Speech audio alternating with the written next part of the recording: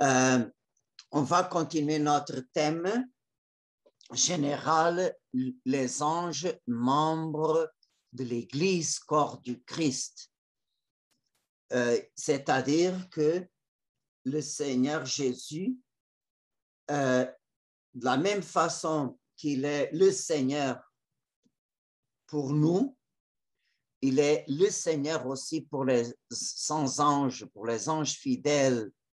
Et le Seigneur les engage comme euh, membres de son corps et le Seigneur a voulu pour eux euh, un rôle de service à, imitation du Verbe incarné qu'il est venu pour servir, pas pour être servi. Alors, euh, les anges aussi, au nom du Seigneur, sont à notre service pour nous aider non seulement à réaliser notre mission en ce monde, mais aussi pour nous aider à, arriver au ciel, qui c'est là euh, notre maître. C'est pour ça que nous sommes venus à ce monde. Et aujourd'hui, notre catéchèse s'appelle L'ange gardien ne nous quitte jamais. Alors, euh, la semaine passée, nous avons vu que par le ministère d'être gardien d'un homme, euh, l'ange aussi s'approche euh, au mystère de la croix de, de, du Seigneur et avec nous, l'ange a aussi son chemin de la croix. Mais aujourd'hui, la question est s'il y a quelques situations que l'ange nous abandonne. Et alors, je vais reprendre comme la semaine passée, la lecture d'Exode 23, 20, 23a. Je vais envoyer un ange devant toi pour te garder un chemin et te faire parvenir au lieu que j'étais préparé. Respecte sa présence, écoute sa voix, ne lui résiste pas. Il ne te pardonnerait pas ta révolte, car mon nom est en lui. Mais si tu écoutes parfaitement sa voix, si tu fais tout ce que je dirai, je serai l'ennemi de tes ennemis et l'adversaire de tes adversaires. Mon ange marchera devant toi. On peut dire le sens littéral de ce passage du livre de l'Exode se réfère directement à l'ange que Dieu a envoyé pour conduire son peuple à travers le désert à partir du moment qu'ils sont euh, partis de l'Égypte. Mais euh, l'Église, dans sa liturgie, utilise ce même texte par accommodement. La fête du 2 octobre, c'est la fête liturgique des anges gardiens. Et l'Église applique, utilise exactement ce même passage pour la première lecture du 2 octobre. Et alors, elle utilise ce texte-là comme la base biblique de la réalité que nous avons un ange que nous garde et qui marche devant nous. Et euh, euh, et par le catéchisme l'Église catholique, quand on fait l'acte de foi, on dit que Dieu il ne peut pas jamais se tromper, ni nous, ni nous tromper. Et alors, s'il dit, je vais envoyer un ange devant toi, s'il affirmait ça, on peut être sûr parce que Dieu est vrai. Il n'a pas deux paroles. il y a une seule parole. Saint Paul, pour euh, affirmer cette réalité, la vérité de Dieu, dit que Dieu a seulement un oui. Il, son oui, il a réalisé par son Fils Jésus-Christ. Alors, si Dieu nous dit, je vais envoyer un ange devant toi, on peut être 100% sûr. Et à partir du moment que deux tiers des anges ont passé son épreuve, ils ont reçu deux couronnes, deux privilèges que seulement Dieu peut donner. C'est la grâce de contempler l'essence divine, c'est-à-dire contempler Dieu face à face directement.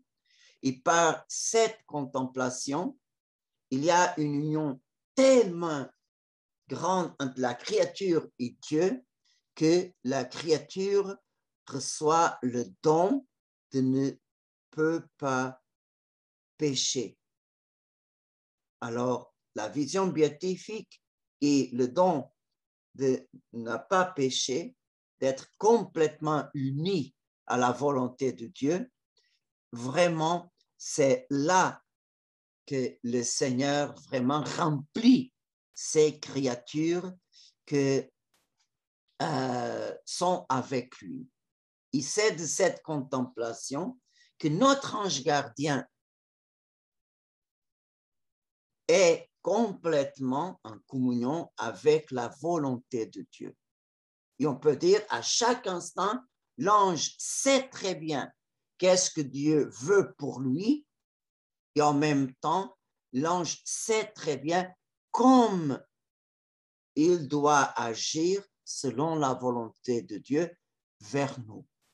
Alors, il connaît très bien la volonté de Dieu pour lui et pour nous. Et comme il doit vraiment nous guider selon la volonté de Dieu. Et on peut être sûr, sur la terre, il y a un reflet de cette réalité entre Dieu et ses anges, c'est l'enfant. Même de, de quelques euh, euh, mois, le, le, bébé, l'enfant, même s'il ne sait pas, euh, ne sait pas parler, l'enfant, il, quand fait quelque chose, il souvent regarde le visage de la personne qui est là, l'adulte, ou la maman, ou le papa, ou euh, la gardienne. Mais pourquoi l'enfant toujours regarde le visage? Pour savoir si la personne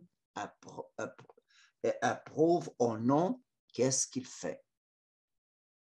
Par la façon de la personne regarder l'enfant, l'enfant connaît la volonté de l'adulte. Il sait très bien s'il est en train de faire bien ou mal. Et hum, alors, une chose similaire se produit avec l'ange alors c'est pour ça que on peut confier complètement euh, à l'action de notre ange gardien parce que vous pouvez être sûr qu'à chaque instant, il ne veut pas l'autre chose que faire la volonté de Dieu. Alors, il, est très obéissante. Il, veut, il va nous guider de la façon qu'on aussi réalise la volonté de Dieu à chaque instant. Et c'est là que son objectif. Et quand Dieu appelle un ange pour le ministère d'être gardien être humain, pour l'ange, ces moments-là, c'est un mois, un, un, instant, un moment très, très euh, joyeux. Parce que euh, le moment que notre corps est conçu, c'est ces moments-là que Dieu va créer notre âme et en même temps, c'est en ce moment qu'il appelle notre ange et c'est en ce moment-là qu'il confie à notre ange gardien notre âme. Immédiatement, quand Dieu fait l'union âme pour le corps conçu, on est un être vivant, c'est en ce moment que l'ange commence à être à côté de nous. Et même s'il est saint, immaculé, sans péché, plein de grâce, plein de Dieu, complètement uni à Dieu, pour l'ange, c'est une joie et c'est un grand honneur de nous accompagner. Pourquoi? Parce que par le baptême, et vous savez que le baptême est un fruit très précieux du mystère de la rédemption, du mystère pascal de Jésus-Christ. Par le baptême, nous sommes fils de Dieu. Par le baptême, nous sommes membres de l'Église, corps du Christ. Par le baptême, la vie surnaturelle est en nous et aussi nous sommes temple de la Sainte Trinité. Et comme tel, nous sommes aussi héritiers du ciel. Et vraiment, euh, Dieu a, eu un amour euh, préférentiel pour nous. Pourquoi? parce que nous, sommes les derniers et par le péché originel, nous sommes dans une nature qui est brisée. Nous sommes vraiment euh, euh, brisés dans notre âme et dans notre corps. Et alors, euh, comme nous sommes faibles, à cause des conséquences de nos péchés, nous avons besoin de notre ange pour passer pour le combat que nous avons en ce monde. Même est écrit à la, lettre aux Hébreux que tous les anges sont envoyés par Dieu en aide de ceux et celles qui devront euh, euh, aller au ciel. Et Dieu vraiment nous donne notre ange gardien pour notre secours, pour notre aide, notre auxiliaire, mais aussi dans le calvaire, il nous a donné la perle plus précieuse qu'il a qu'il a, que c'est sa mère immaculée. Alors, nous avons comme maman la reine du ciel, la dame de tous les anges. Et alors, pour l'ange, ce n'est pas un déshonneur être avec nous, mais une joie une joie. Et euh, on peut être sûr qu'il va réaliser cette tâche avec un grand zèle et toutes les perfections. Parce qu'il est à côté de nous pour réaliser un mandat qu'il a reçu de Dieu. Et comme j'ai dit au commencement de cette méditation, on peut poser cette question. Est-ce que notre ange est vraiment inséparable de nous? Est-ce qu'il y a des circonstances que c'est pas l'ange de nous? Par exemple, un péché mortel? Si on fait un péché mortel, est-ce que l'ange se retire?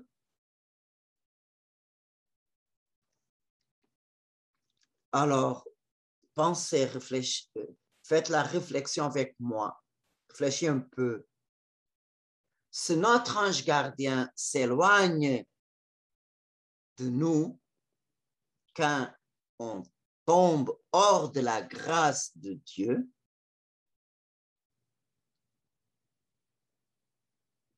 quel saint il y avait la miséricorde de Dieu? Ne veut pas la mort du pécheur, mais sa conversion. Pourquoi? Par la conversion, le pécheur peut être pardonné et continuer à vivre. Ézéchiel 33, 11. Alors, euh, la grande, demain dans l'évangile, on va entendre ça à la messe de demain, que la grande joie de Dieu, ce n'est pas la mort du pécheur, mais c'est pardonner. Le pécheur reconnaît vraiment son état misérable, bien sûr qu'il doit se tourner vers le Seigneur.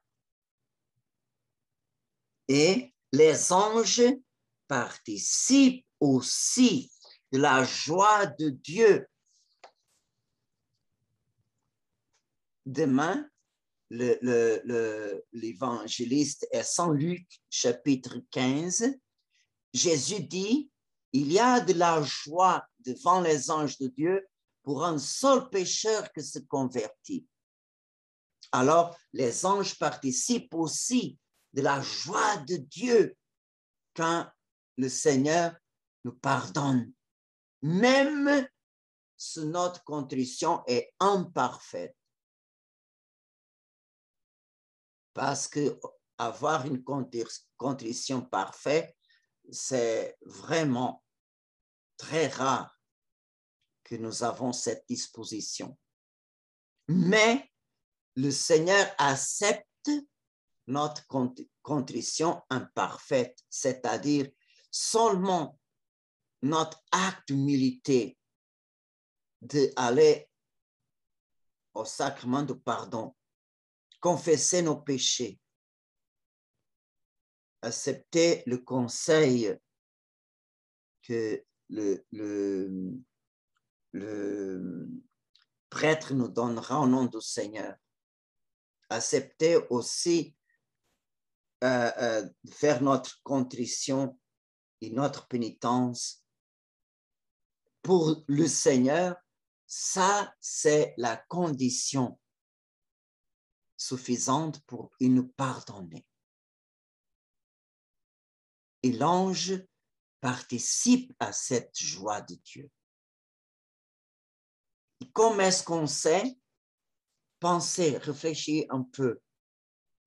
Quand on sort de la confession, on se sent très léger, très léger. C'est comme un poids qui sort de notre âme. On sent aussi une joie. Nous sent comme une plume.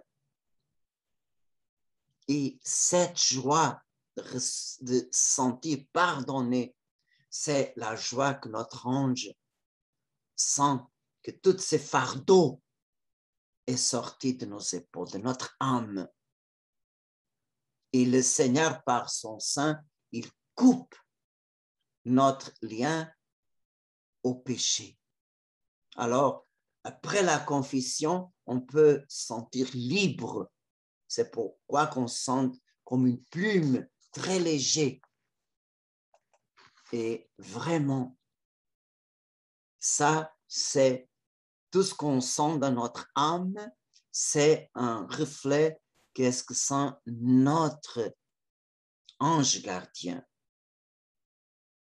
Et euh, l'autre raison que notre ange ne s'éloigne pas de nous, c'est que pour la volonté de Dieu, il veille sur nous.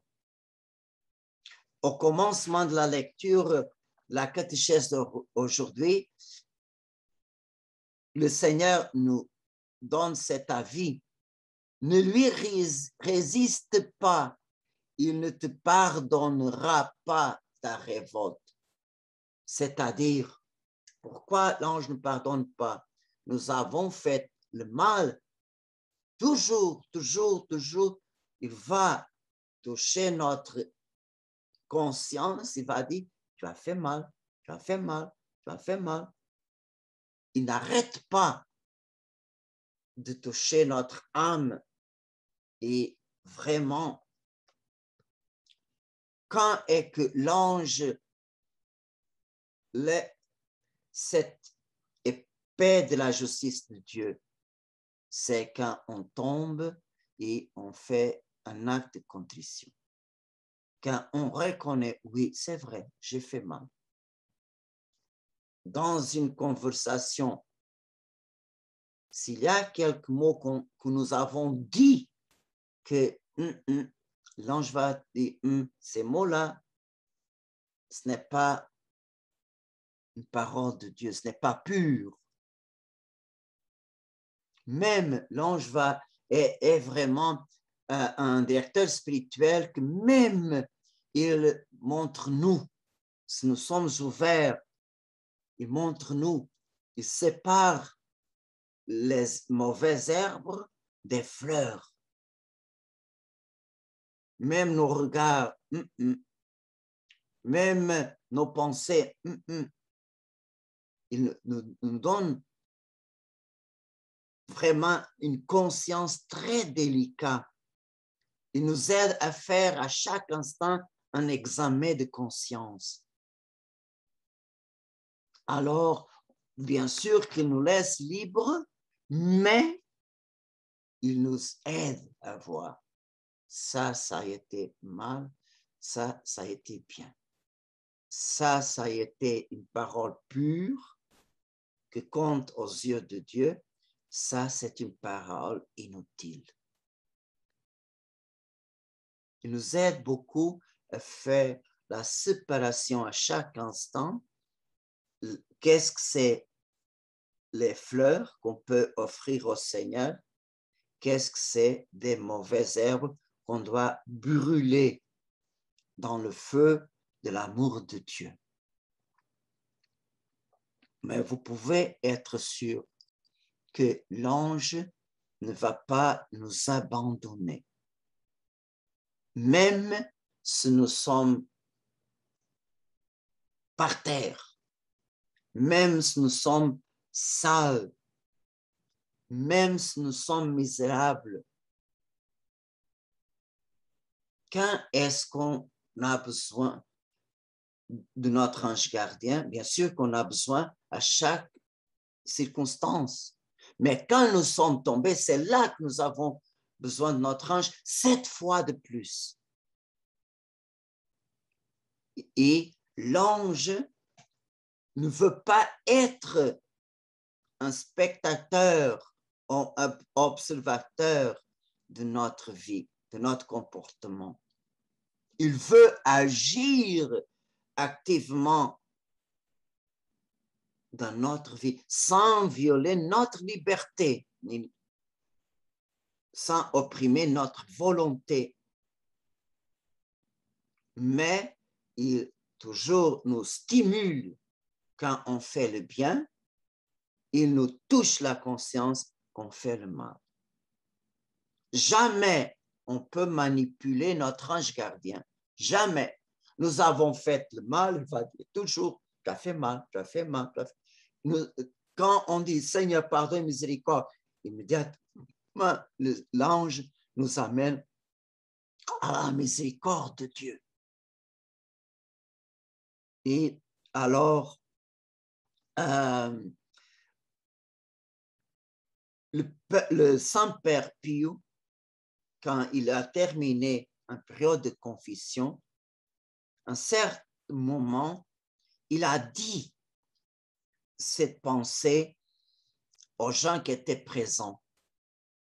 Il a dit, oh, si seulement nous pouvions imaginer l'amertume de l'ange quand il nous voit à la merci de l'ennemi. Celui qui voit face, qui voit Dieu face à face, qui est déjà dans le bonheur éternel et voit que par notre volonté, nous sommes en danger de perdre tout bien et tout bonheur que Dieu nous a librement donné à la possibilité d'obtenir.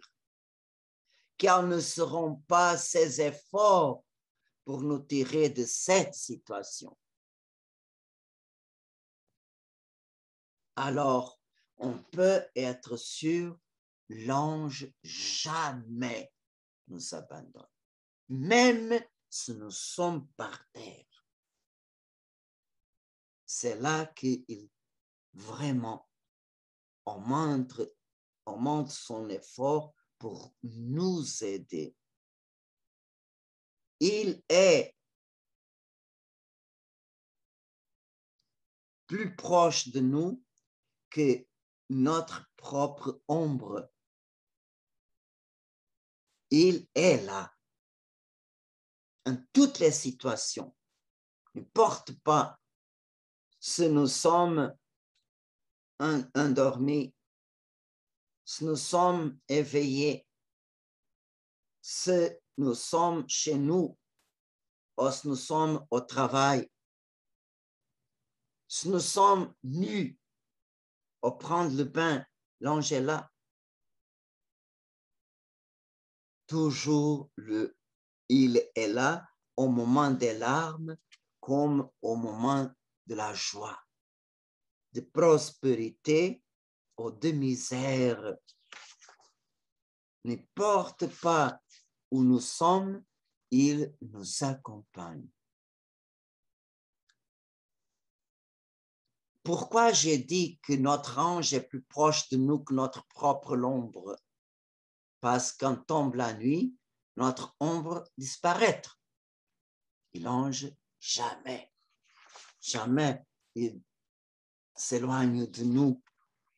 Il est plus proche de nous que les pensées de ceux et celles que nous aiment. Est-ce qu'une mère oublie son enfant, même quand il est adulte, quand il est marié, est-ce que sa maman l'oublie? Jamais. Et quand l'enfant ne l'appelle pas là. Elle pense deux fois de plus à son fils, à sa fille. Même si la maman a la connaissance, quand il n'y a pas de nouvelles et bonnes nouvelles, mais la maman désire toujours entendre la voix. Mais notre ange est toujours avec nous elle désire nous euh, aider pour, pour éviter de rencontres euh, désagréables. Il veut nous aviser des possibles dangers spirituels ou corporels. L'ange toujours nous exhorte, confie en Dieu, N'as pas peur. Dieu est ton Père. Est-ce que jusqu'à maintenant, Dieu t'a abandonné? Dieu t'a laissé tomber? Non. Dieu est là. Moi, oui, j'ai tombé pour ma propre faute. Mais Dieu, non, ne veut pas qu'on tombe. Et vraiment, l'ange fait tout l'effort. Si nous sommes ouverts, va à Marie, va. Elle est la maman de perpétuel secours. Et quand il nous voit vraiment dans situation difficile, situation d'agitation, de chagrin, d'angoisse, malheur, vous pouvez être sûr qu'il ne reste pas indifférente. Et ce, vraiment, nous sommes dans circonstances difficiles, on peut dire, aide-moi mon frère. Ouvre une porte, montre-moi la volonté de Dieu.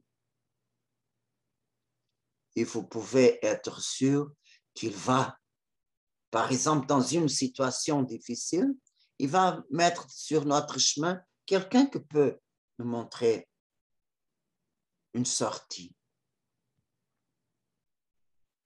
Même, je dis ça parce que l'ange est un instrument de la divine providence de Dieu.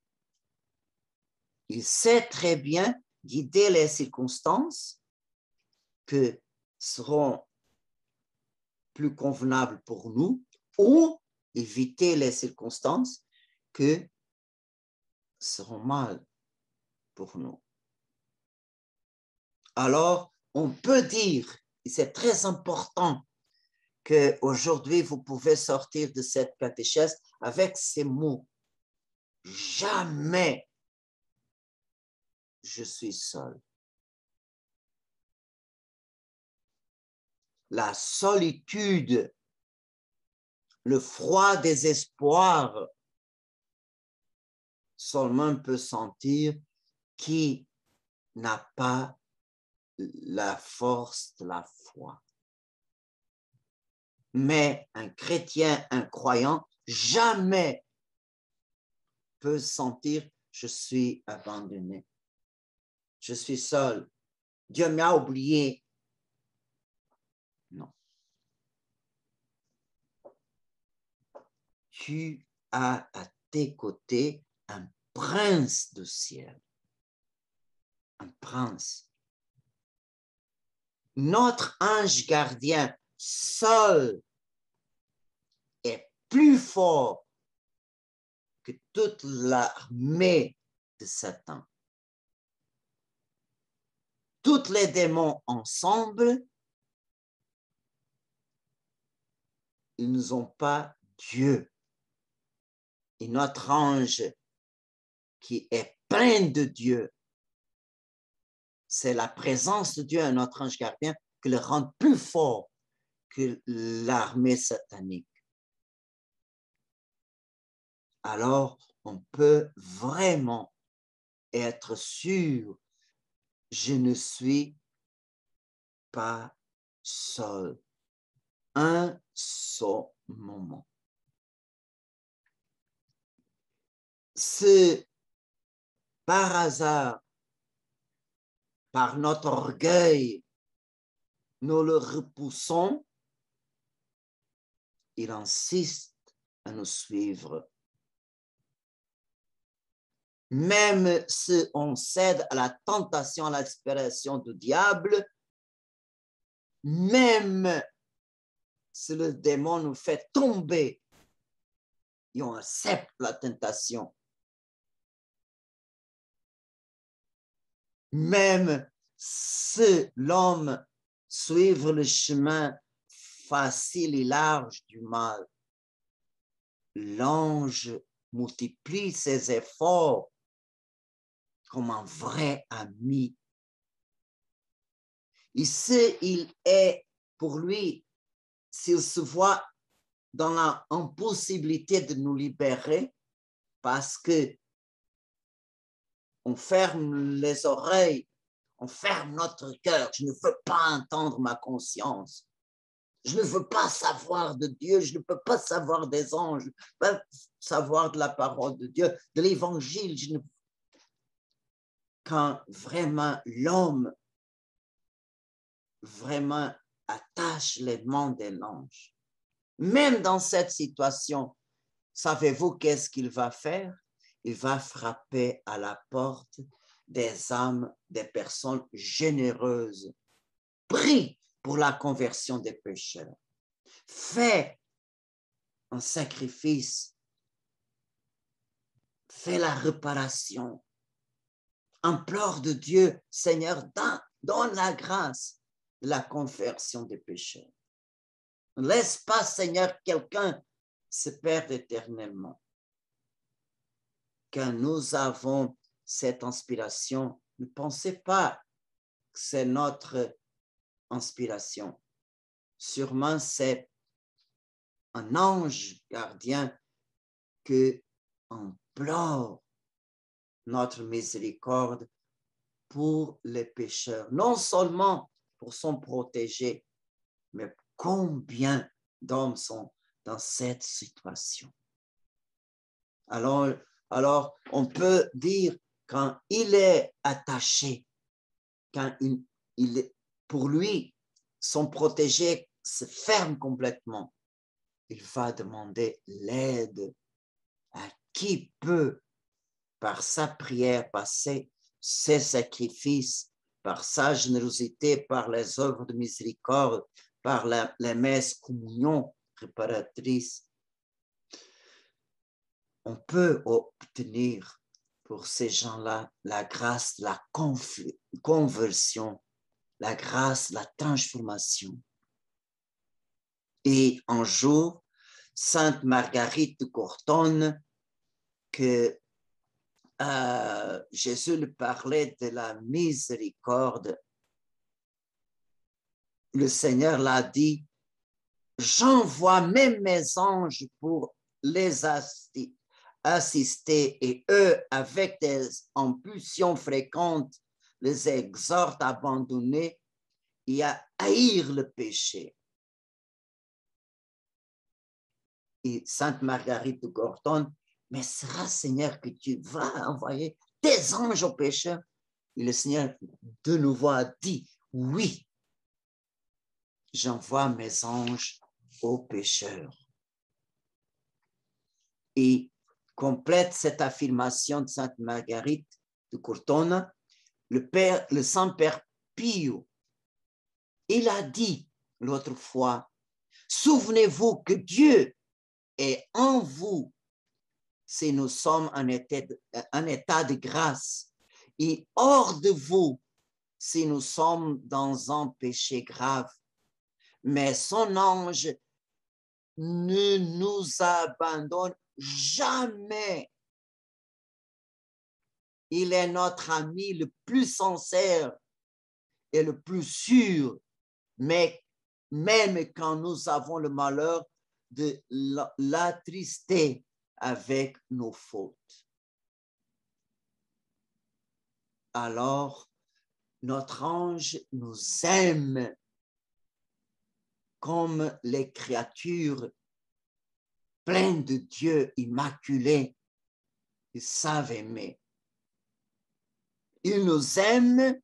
Pourquoi? Parce qu'ils voient en nous l'amour de Dieu.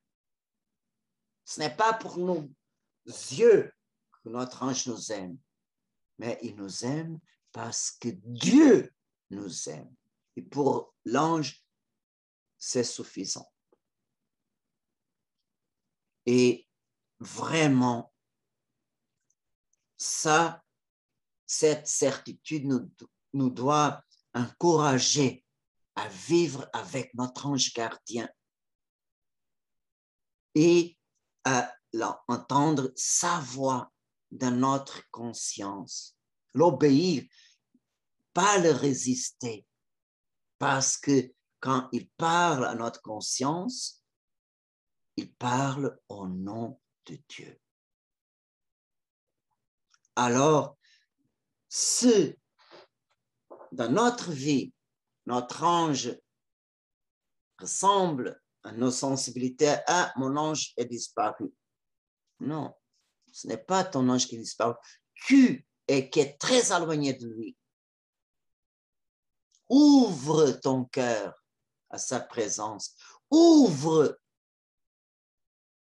et tu vas voir comme l'ange, par ta confiance, il va se révéler, va se montrer comme il est présent.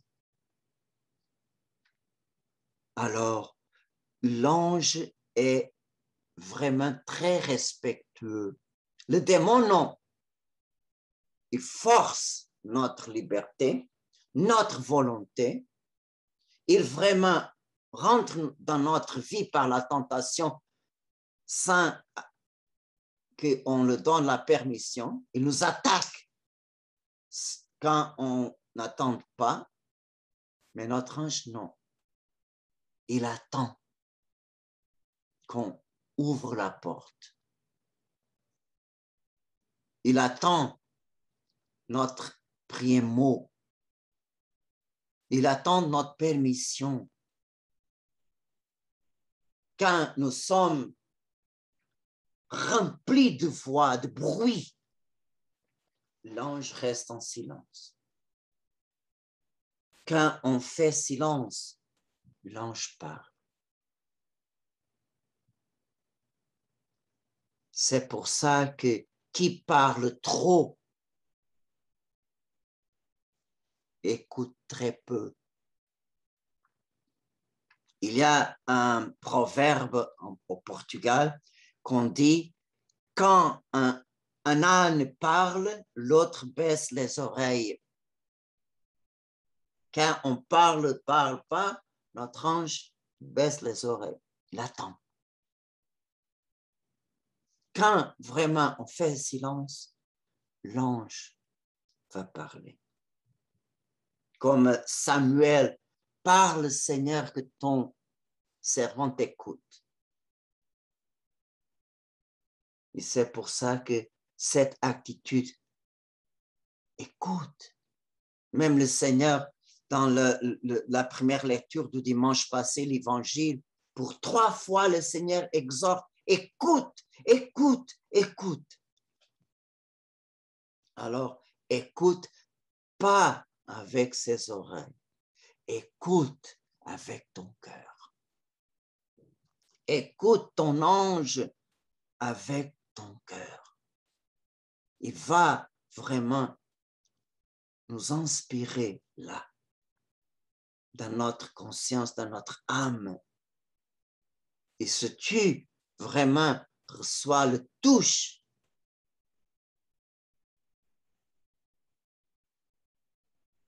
Soyons dociles, obéissants.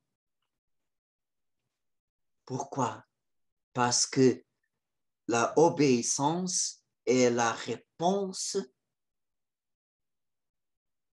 plus agréable à la voix de l'ange si on écoute, on fait avec confiance, à la prochaine fois, l'ange va parler de nouveau. Et si l'obéissance est notre réponse, il va entrer, inspirer, diriger, guider, illuminer, inspirer. Au nom de Dieu, parce qu'il fait ça au nom de Dieu. Il fait ça parce qu'il voit le visage du Père au ciel. Il sait très bien quelle est la volonté de Dieu pour lui, comme il doit agir avec nous. Il sait très bien quelle est la volonté de Dieu pour nous à chaque instant. Et c'est ça qu'il veut pour nous, la volonté de Dieu à chaque instant. Alors, n'importe pas qu'est-ce que nous avons fait avec notre ange gardien jusqu'aujourd'hui. Je sais que il y a des gens que vraiment ils sont déjà ouverts, très ouverts à l'action de l'ange. Mais il y a des autres, c'est comme une découverte c'est la réalisation de la parabole. Le royaume de cieux est comme un trésor un père de famille prend des choses nouvelles de son trésor et des choses anciennes. Il y a des mystères de la foi que on connaît très bien, ça fait très longtemps. Il y a des autres facettes du trésor de la foi que le Seigneur, au moment de sa grâce, il nous révèle. Il nous donne une nouvelle conscience. Alors, ne soyez pas euh, triste ou, dans l'angoisse. Qu'est-ce que je fais avec mon ange? Non. Le plus important, qu'est-ce que je vais faire à partir d'aujourd'hui? Il y a le temps. Si le Seigneur te montre cette perle aujourd'hui, c'est pour aujourd'hui. Avant d'aujourd'hui, il y avait des autres perles que tu as eu besoin dans, ton chemin. Mais aujourd'hui, c'est ça que le Seigneur t'offre. Alors, approuvez-t-on, approuvez-t-on cette aide de l'amour éternel que Dieu a pour nous. Amém.